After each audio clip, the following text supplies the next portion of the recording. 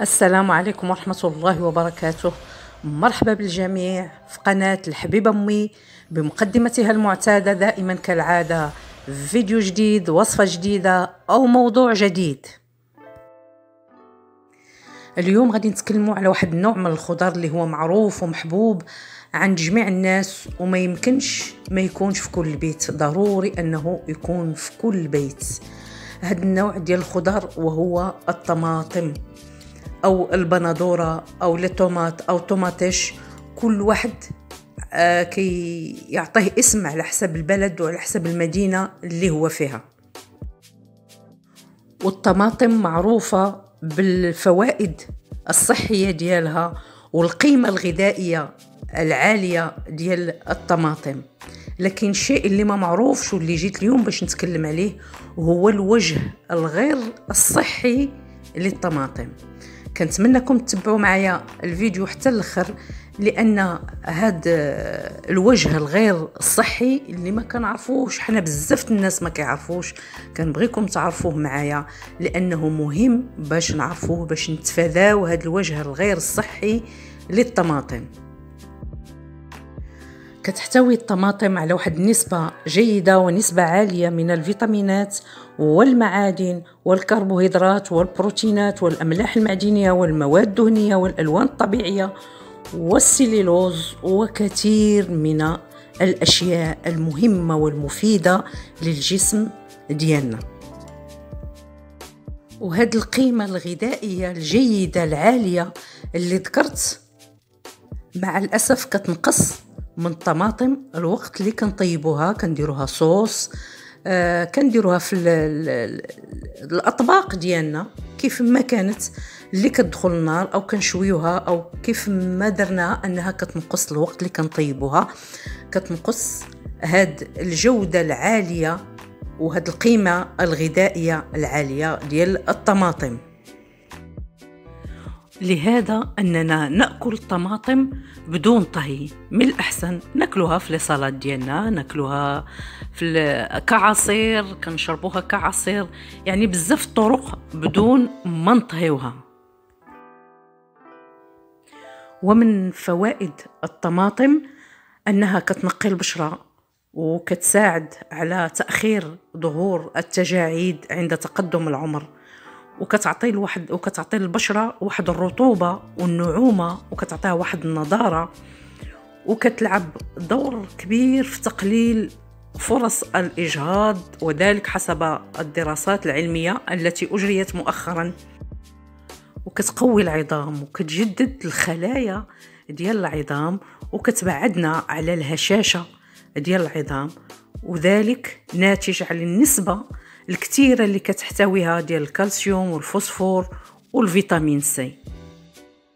والطماطم هي كملين طبيعي للمعدة والأمعاء لأنها كتحتوي على واحد النسبة عالية ديال الألياف وديال الماء اللي كيخليونا ما نتصابوش بالإمساك أو بالقبض كيف ما كنسميوه. والطماطم كتعزز وكتزيد في المناعة ديال الجسم لأنها كتحتوي على مضادات الأكسدة واللي كتكون في اللايكوبين والموجود بشكل مركز في قشرة الطماطم. هذا اللايكوبين هو اللي كيكون علاش مطيشة؟ أنها من الأفضل أننا نديروها في ال salade بالقشور ديالها لأن هذاك المضاد ديال الأكسدة هذاك اللايكوبين كيكون بالأخص في ديك القشرة الفوقانية ديال الطماطم. وهذا اللايكوبين هو اللي كيعطينا داك اللون الأحمر الجميل ديال الطماطم.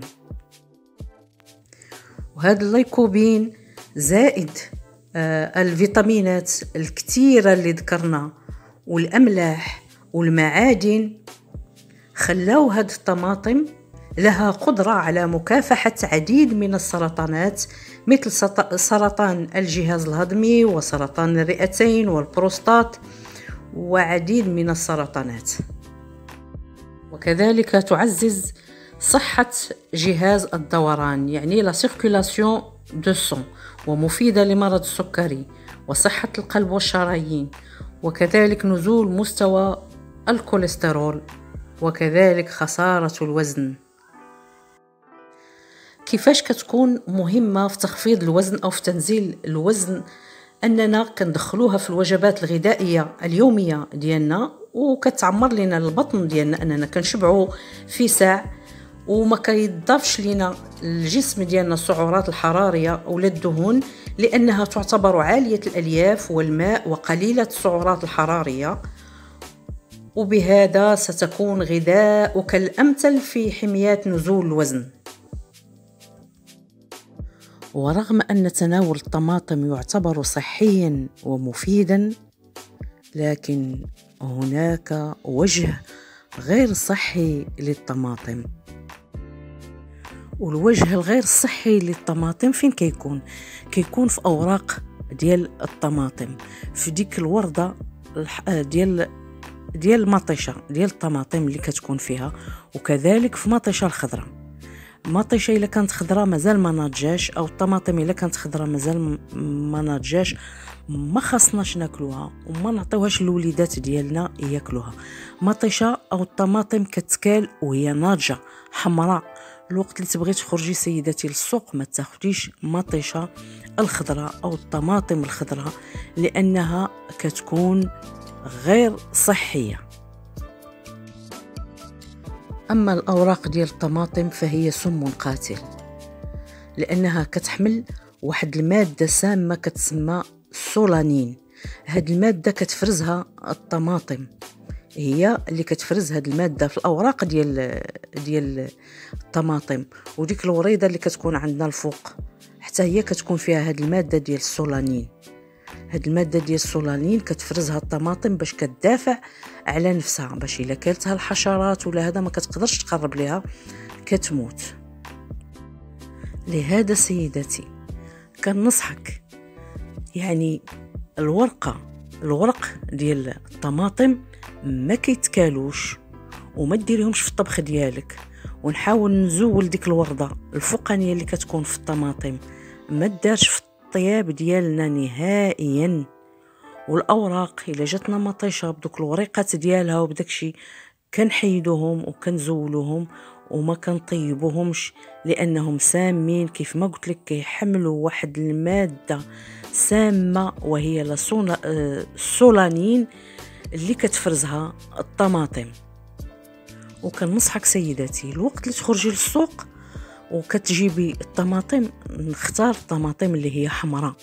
أما الطماطم الخضراء راه ممنوع تاكليها. ولو جبتيها خضراء وخليتيها حتى كتحمى تولي حمراء وكتنضج ما تخليش الوليدات يقربوا ليها وما تحاوليش طيبيها ولا كنتي كتنقي في الطماطم ولقيتي شي طرف أخضر في الطماطم زوليه حيديه. يعني لأنه سام. والاكثر الأكثر اللي كيعطي السم بزاف وكيكون مسموم في الخضر وهي البطاطا إلا كانت خضراء. حذاري حذاري من البطاطا الخضراء لأنها سم قاتل. ورغم كل الفوائد الصحية والمزايا واللي ذكرنا ديال الطماطم كيقولك لا إفراط ولا تفريط. ما نكتروش من الأكل ديالها. لانها كتقدر تسبب لنا في الإسهال دير لنا الحموضة في المعدة وأنها اكتشفوا كدير تضخم البروستات. يعني فيها بعض الحوايج يعني لا كثرنا منها أنهم خايبين للصحة ديالنا والجسم ديالنا. لهذا سيدتي كنقول لك حذاري حذاري من الطماطم الخضراء وحذاري من أوراق الطماطم لأنها سامة وكيف ما قلنا كتحمل واحد المادة ديال السم كيماوية كتسمى لا سولانين وهاد المادة هادي كتكون حتى في البطاطس الخضراء. بعض الخضرات كنشريو البطاطا وكنلقاوها خضراء من واحد الجنب. هاديك حتى هي كتحمل المادة السامة ديال السولانين كنصحكم باش ما كنصحكم باش ما تاخدوهاش ما تشريوهاش وما تاكلوهاش. كنتمنى هذا الفيديو يتبارطاجا على نطاق واسع باش تعمل فائدة على الجميع وتكون معلومة يعرفوها بزاف الناس وبالأخص ربات البيوت والوليدات ديالنا. وما تنسونيش من الاشتراكات ديالكم ومن الدعم ديالكم واللايكات ديالكم. والسلام عليكم ورحمة الله وبركاته.